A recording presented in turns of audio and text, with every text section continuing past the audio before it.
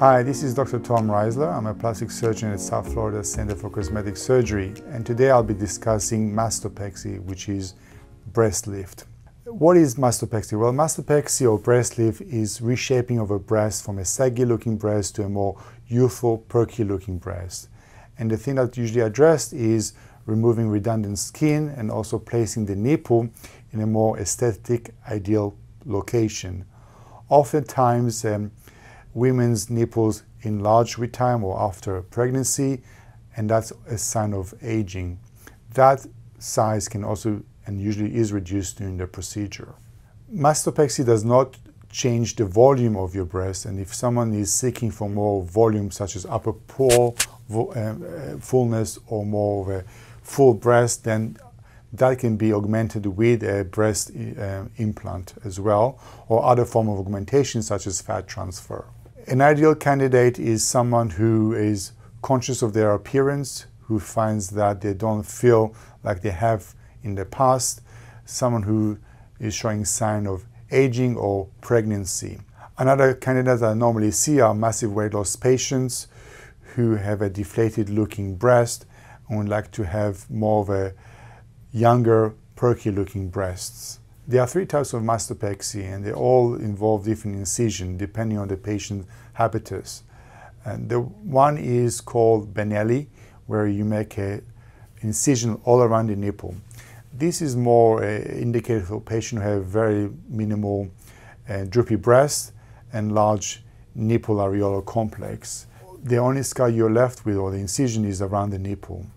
And other types of um, mastopexy is called the lollipop incision, whereby you make an incision, like, just like the first one, around the nipple areolar complex, and you extend your incision down towards the natural crease of your um, breast. This is more um, to patients with slightly more excess skin.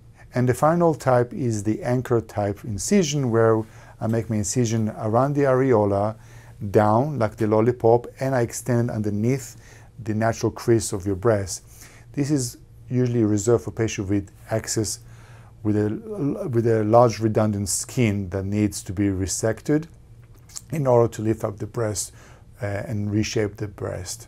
Despite the extensive incision, you'll be surprised how well you heal and that within 6 to 12 months after surgery, these scars are almost invisible with proper uh, scar care such as using silicone sheets and wearing surgical bra for the first six weeks after surgery in order to support the um, scar as it heals.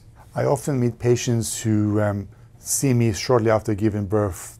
So I normally wait for at least six months after giving birth or after the last date of um, breastfeeding as um, if I do perform the surgery sooner than that, then we can run into trouble where during the surgery there'll be spillage of uh, milk contents into the wound.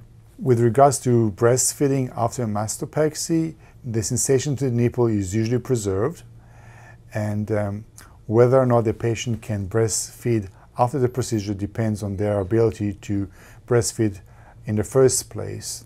Uh, regardless of having undergone the procedure. The real goal of the surgery is one is to remove redundant skin and put the breast in a more uh, anatomical and more youthful um, position. Also reducing the nipple areolar complex to a proportional size to the body habitus and improve the confidence of, of the patient. So mastopexy is a day, uh, same day surgery. You go home the same day with a surgical bra and some um, dressing. I will see you the following day to make sure everything is fine and to answer any questions. Following that, I will see you a week later, still wearing the surgical bra and the dressing.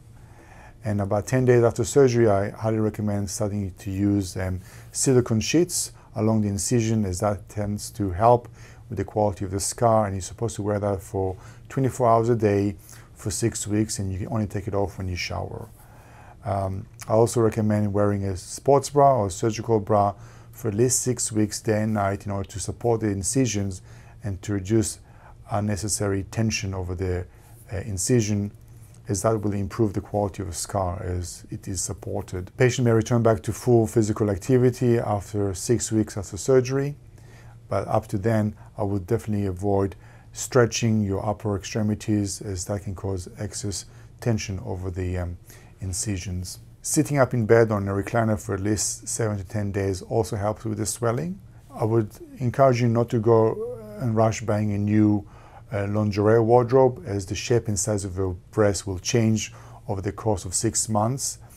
And so I will wait for six months until you want to be properly fitted to a new uh, bra.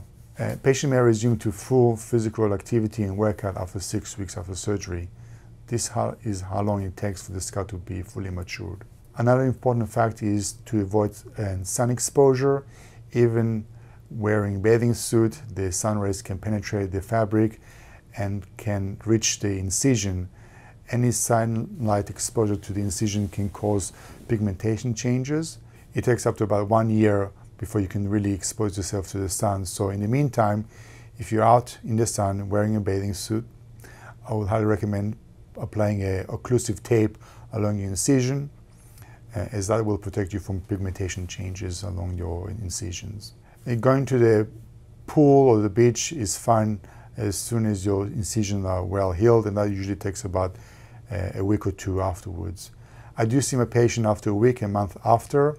The reason being that sometimes after four weeks, the scar can be somewhat lumpy, and if I catch it early, I can definitely inject it with some steroids in order to soften out the um, scar and increase the healing process. The best way to maintain the result is one post-operative care as I discussed, wearing bra for six weeks after the surgery and wearing silicone sheets in order to improve um, scar quality. Um, if you maintain your weight and there's lack of fluctuation in your weight, that will also maintain the volume of your breast and will give you much longevity uh, for the results to last. Um, every individual is different, everybody have different skin quality, and some people age faster or slower than others. So I don't have a crystal ball to tell you how you will look in one, two, or 10 years' time, but certainly the procedure does not stop the aging process, and gravity is our worst enemy, and inevitably, patients do return for um, revision if they feel it's appropriate.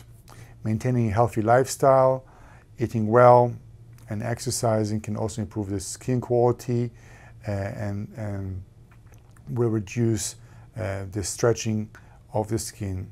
If you find this video helpful and educational and you feel that you might be a good candidate for a breast lift mastopexy with or without an implant, please feel, feel free to reach out to me. I'll be more than happy to meet you in person and discuss the options with you. Thank you. Please don't forget to like and subscribe.